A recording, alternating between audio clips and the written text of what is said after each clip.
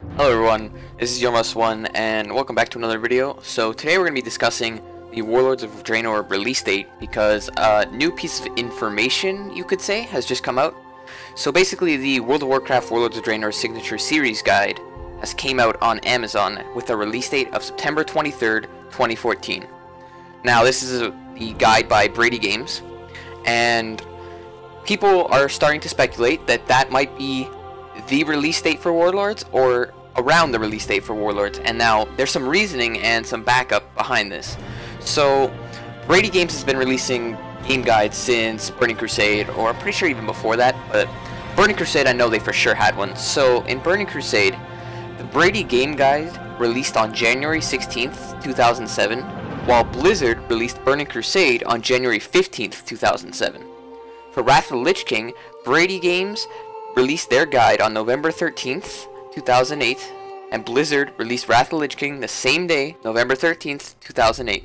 For Cataclysm, Brady Games and Blizzard both had the same release date, December 7th, 2010.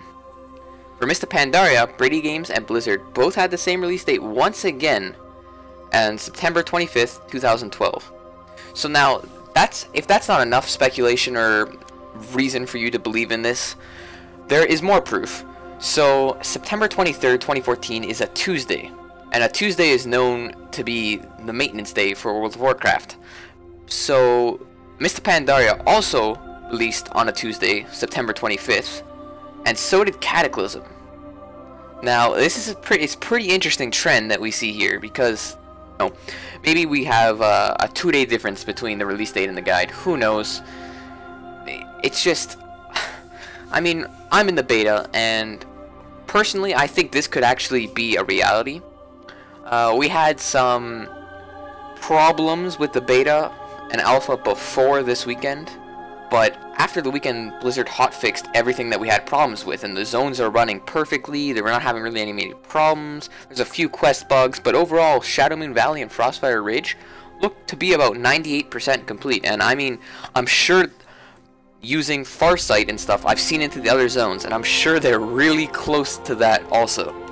So it really, like, I think September 23rd is not that bad of a release date to shoot for. I think Blizzard really, really could actually make that, and I'm sure they have they have a lot more than they're showing us, obviously. I think the beta build that we have right now was probably their work from like months ago. Like I'm sure they have way, way more than they're actually giving us. But I mean, some people are saying, well, beta have to be six months because that's been the uh, the trend. Well, it doesn't really. I mean, there's no no no one's saying that it has to be six months. It's coming in fall, so September follows the rule of coming in fall. Uh, I mean, that's pretty much it. I personally think that we're gonna get it around this date. Maybe I think like minimum, it's gonna come out this date, and then maximum I think we're gonna be seeing around October-ish. But yeah, uh, I want to know what you guys think, so leave your comments down below. Uh, I hope you guys enjoyed this video, and I'll see you guys next time.